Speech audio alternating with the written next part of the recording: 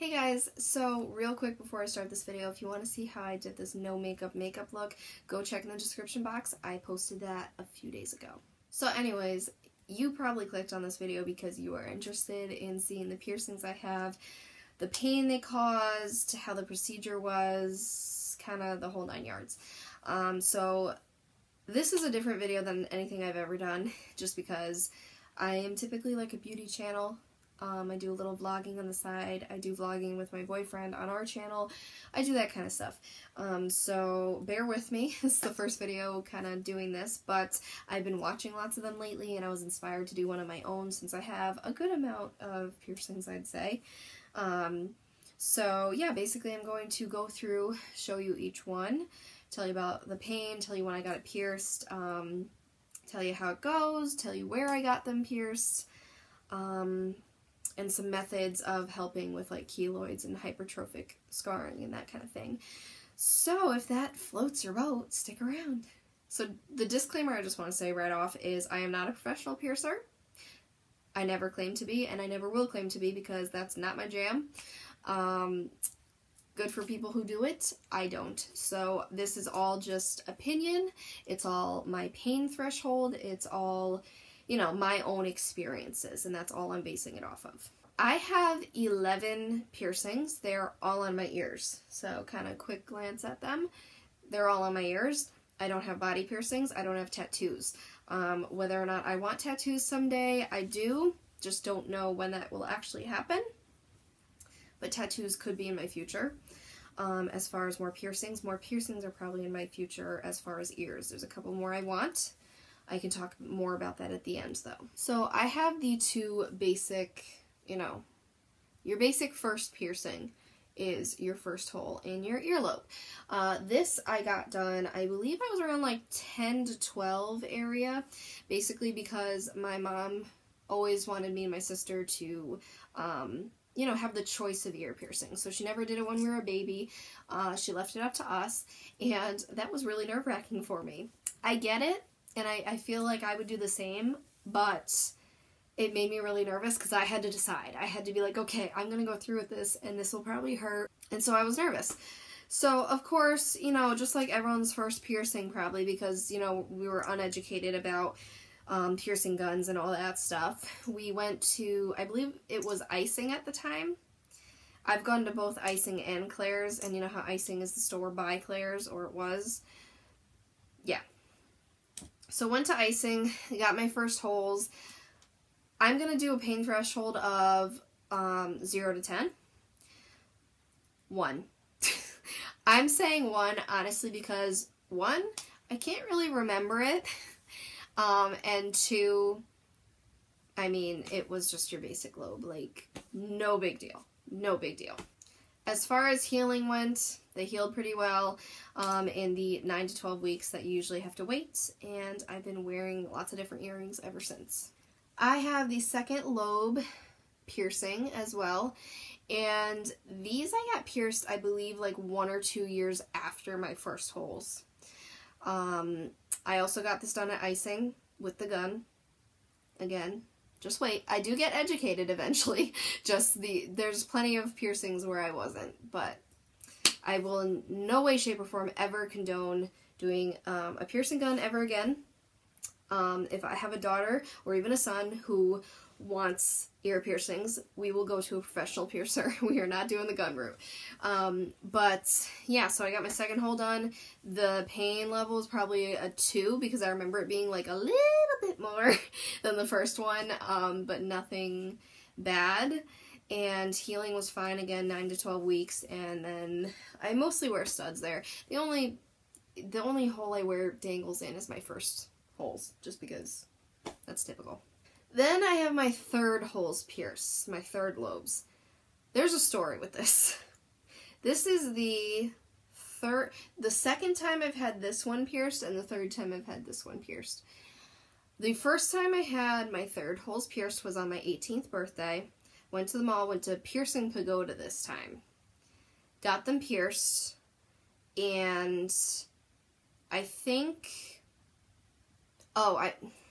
What happened was they pierced this one too low. Like it was so obvious that it was too low. It looked awful. It was so embarrassing. I'm like I hated it. So basically I just ended up taking it out after the healing period. I don't even know why I waited that long. I tried. I tried like different little like piercing like earrings. I tried to put like a bigger one in this hole and a little one in this hole to offset it. Didn't work. So, and then I just ended up taking this one out too. So I had no third holes. Then that's when I saw the light and I went to a professional piercing shop and it was the first piercings I got through them and um, I got both re-pierced. Once again, I don't know what it is. This is the one I have gotten re-pierced from the professional piercing shop. Um, I think it was two years ago about. Yes, it was two years ago. My Facebook feed actually just showed me that. Um, so two years ago, so I was 20.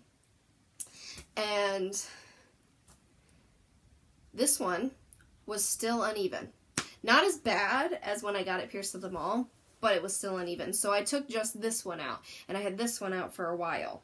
I got this one re-pierced for the third time through a different piercer at that piercing shop um, and this one is, I don't know if you can like see, it is still, still not the most even. I don't know if it's the fact of, you know, I would wait the healing period for it to get healed before it could get pierced again. It's a lobe, so it can get pierced again. But, I don't know. I don't know what's going on. But, I find like when I adjust the, the earring a little bit and I push it up, it looks better um, and more aligned. Like this looks perfect to me. That is how I want it to look. So this one's just, it bothers me a little bit, but I'm keeping it in for now. so yeah, third time's a charm, we'll see. I just realized I goofed. I got my third holes the first time when I was about 16 or 17 with a gun in Claire's. That's when I got Claire's. Um, what I did when I was 18, I had gotten this helix piercing and one right above it, so I had a double helix. And then I had gotten right about here, like your mid ear. I don't know if that's, I feel like that's technically a helix because it's cartilage, but yeah. So I had gotten those two done on my 18th birthday from Piercing Pagoda. Both of them are no longer because both of them, the healing was awful. Got rid of them. Just got rid of them um, the pain of this one was maybe like a four. The pain of the double helix was maybe like a six, just because it was two in a row. With the gun, honestly, it hurts more just because of the punch and the needle. I honestly feel like getting pierced with a gun is more painful than with a needle. Um, so there's that as well. So yeah, I just took those two out. I actually have a blog post that I wrote a couple years ago, I think, and I will link it below. And it's talking all about my experience with those piercings and how it was just, it was awful. So go read up on that. But surprisingly, this helix healed. What's funny is the one on top had the hugest bubble ever and it was just awful and painful. It was a nightmare. This one kind of had one. But I saved it because I was like, this one is savable. Like, this one is not awful. I can deal with this. But I'm telling you guys, this took maybe two to three years to completely not give me problems. I mean, it kept getting bubbles, it kept getting infected, it kept hurting so bad, um, and I had to clean it so much. It was bad. So, uh, but I'm I'm glad you know I went through it because I still enjoy it and I love this feather piercing. I just think it's so pretty. So yeah. So that is the end of hearing about piercing guns. Yay! So I saw the light when I went for my third holes, and that was when I was 20. I went to Black Diamond Body Piercing in West Hartford. That is the only piercing shop in Connecticut that is solely for piercings. Um, you can go to a lot of tattoo parlors that also have a piercing section in them, but I was so intrigued by this place because it just does piercings. Like, that is their specialty. That's all they do. Um, and these people are really well trained and they're really awesome, really friendly, have an amazing array of jewelry. It's a little pricier going to a piercing shop like this because the jewelry is more high end and you're paying for people who have to pay for their education and their certif- certificates and all that type of stuff, but it is so worth it. So that's where I've gone for three trips of different piercings. So the first was the third holes. Second trip there. No, I've been four times, guys. Okay, I've been four times because I got my third holes. The second trip I went there was getting my double helix.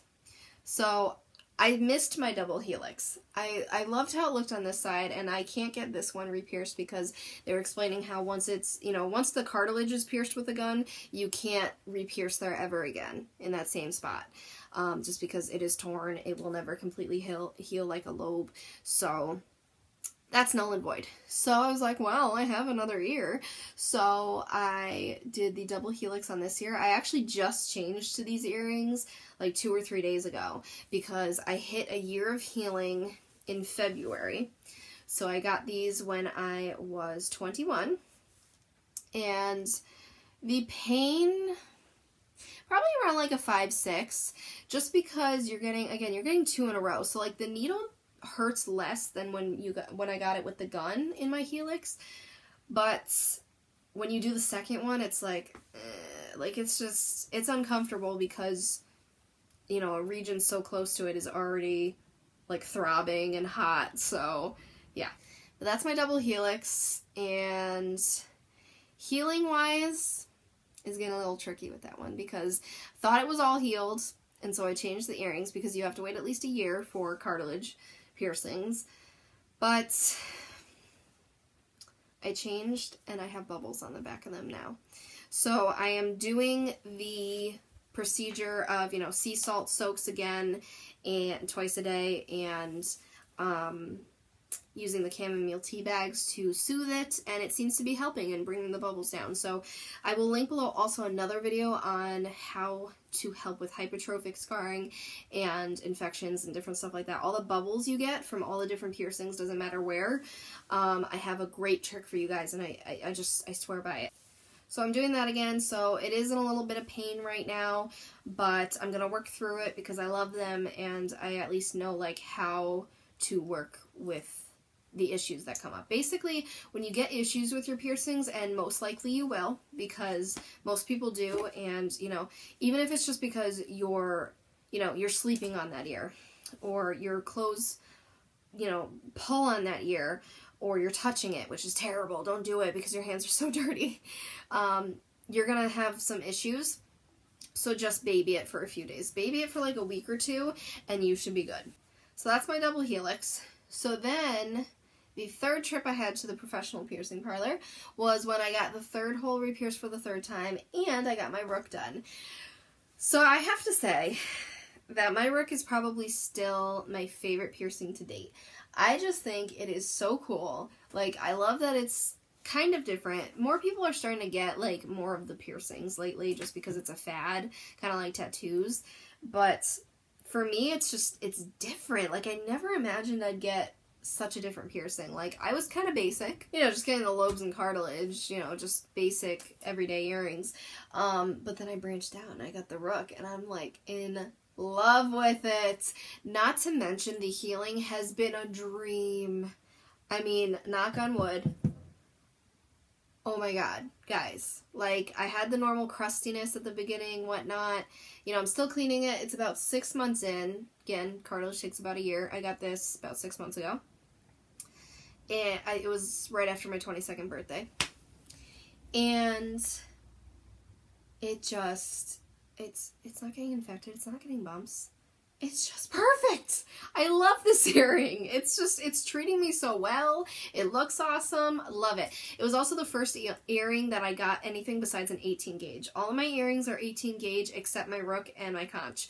Um, 18 gauge is the standard piercing size. 16 gauge is just one size up, but I was all like intimidated because I'm like, whoa, getting a bigger earring, it's gonna hurt more. I thought my rook was gonna hurt so bad because if you feel your rook, it feels so much thicker when you think about it. Pain level, when it did get pierced, honestly, most painful piercing for me. Um, it was a six or a seven. Um, you know, not excruciating, but how I like to describe it is I was about to say like an audible ow if the piercing went on like a second longer. Like at least it's fast enough so that by the time I was going to say ow it's over. But if it, you know, kept on going, it was going to hurt a lot. So it was my most painful piercing. Um, you know, and a lot I hear a lot of people kind of say that about rooks. So that is my disclaimer. However, it is also my favorite. So for me, worth it. It's also the most easily healed for me. I don't know what it is. Even my third lobe holes got all the bubbles and everything. This one is healing like an absolute dream. So, pros and cons, you kind of choose them, but I love it. Then my last piercing that I got, I got this actually about two months ago now. Well, only had it for two months, wow, um, is my conch. So I got this awesome blue barbell in it because at the time it matched the blues that I had in my Helix, which now it doesn't match, but whatever. And first of all, I love the jewelry. I think it's beautiful, but I love it. Again, it's like it's it's an earring that's kind of just not the norm. Um, this is a 14 gauge, so this is two sizes bigger than the typical earring and one size bigger than the rook in diameter. Um, so that's like the part that goes through your ear. But it's awesome. And the thing is, they told me about the 14 gauge just because I guess it's easier to get jewelry for a conch when you're 14 gauge or up um, just because that's kind of the most common thing to do. Um, with the Rook, I had the two options. I could either get the 18 gauge or the 16, but I thought the 16 looked cooler because it's bigger. And it's a hidden earring as it is. Like, you really can't see it unless I turn my head. Um, so I wanted to get one that was more noticeable. But same here because if I got the 16 gauge, one, it would be harder to find jewelry, and two, Two, the hoops they said weren't going to be as durable because eventually I want to change to a hoop, kind of like what Jenna Marbles has. That's the reference that every everyone here on YouTube likes to make. That's the earring she has is the conch. Um, and three, I liked that the size of the stud was a little bit bigger. Pain-wise, let me tell you guys, I don't know if I'm getting used to getting earrings or something. I was so scared to get a conch because, again, super thick. If you feel this area, it is super thick. I was so nervous. But guess what? I'm rating this a 2 maybe because I swear it was so fast and I was so nervous but at the same time relaxed. It was a weird feeling. Um it, I didn't feel it, I swear. Like I felt a little pinch and that was it. Like I was just like, "Really? It's done?" Like I was expecting it to go on longer or be more painful or something and it was just awesome. So a lot of people actually say that their conch is their most painful piercing. If they have all the ones that I have they'll even say the conch is more painful than the rook. But another disclaimer your pain is your pain. Mine is mine. Everyone has a different pain tolerance and a different pain threshold so remember to keep that in mind and take this with a grain of salt so another couple little notes. Um, I also went from when I was getting pierced with the piercing gun and they said to use, you know, the solution that they have you buy with it. Don't do that. Don't do peroxide. Don't do alcohol. Don't do any of that stuff. All you got to do is put a quarter of a teaspoon of sea salt in eight ounces of distilled water. Heat it up in the microwave and let it cool off a little bit I only heat up a little at a time. You don't need the whole like eight ounces. Um, take your Q-tip and, you know, clean the area really good. You're good to go. What they will tell you is um, to do sea soaks, sea salt soaks um, for 20 minutes twice a day to like clean it. What I found is that is so difficult to do with ears, okay? Like, do you understand how hard it is to like sit like this and get it just right? So instead of buying the sea salt like spray that you essentially do the same thing with the Q-tip, I just make my own. And so I have like an 8 ounce thing and I keep it in the fridge for a long time. Um, and I just take a little at a time. I clean it twice a day and that is how you clean it. It's inexpensive, it's easy to make, it lasts a while, and it is just the best way to clean them. So definitely clean them that way, not with that that stuff that they give you at the mall. It just, it's, it's no good. So this video is getting longer than I anticipated, but I wanted to go over every piercing in detail for you guys. I've wanted to do one of these for a while and I'm excited that I did. So I hope you guys enjoyed this. Give it a thumbs up if you like these videos and you want more updates when I get more earrings or maybe tattoos in the future. Maybe I can do like an update in six months or a year or something. Um, but I really like doing this and I hope it was informative and helpful to you guys who are interested in some piercings. Um, I know that I always liked, you know, watching videos of people getting the ones I want. I do want a couple more ear piercings in the future. Um, I am considering a forward helix, which is around this area. Um, they said on most ears that they can do at least one. You can't guarantee like a double or a triple forward helix um, just because of different ear shapes. But I am hoping to get, I don't know, one on this ear, I think. I like it on this ear because also it would interfere with the rook, I think, here. So, um, I don't know, maybe one. Yeah, I think just one I'd like there. Um, and then, so that may be like sometime soon-ish future, we'll see. But, um, the other one that I have wanted forever, forever, before it became like a huge fad too, is the tragus. And that is this little piece right here, which I'm scared to get because it's super thick again, and I hear that you hear the pop and all that stuff. But I really, really want it. I think, I think honestly it would complete this year. I think this year would just like look awesome and finished. Um, problem is I wear earplugs to bed every night. I can't not, like, it's a sensory thing, and there's too much noise, and I need to sleep with them in. So I'm hoping maybe someday, like, if I don't know, circumstances are quieter or something, I can get used to not sleeping with earplugs. If you guys have tricks for that, let me know because I really hate it. Like, I don't like sleeping with earplugs every night. um, but I'm hoping someday when I don't sleep with earplugs that I can get my tragus done. But they said the healing process just will not be pretty and it they can't guarantee that it will heal properly if I wear earplugs every night. So I figured it's just not worth it to try, honestly, because I'll I'll be in so much pain, and then if it fails, I can't get it re-pierced because it's cartilage. So I'd rather just wait and see. So those are the piercings that I'm looking for in the future. Let me know down below what you guys are kind of interested in. But I hope you guys enjoyed this video. Thank you so much for sticking around. If you stuck around this whole video, you're the real MVP. I love you guys so much. so thank you so much. Hope you enjoyed the video, and I'll see you in my next one. Bye.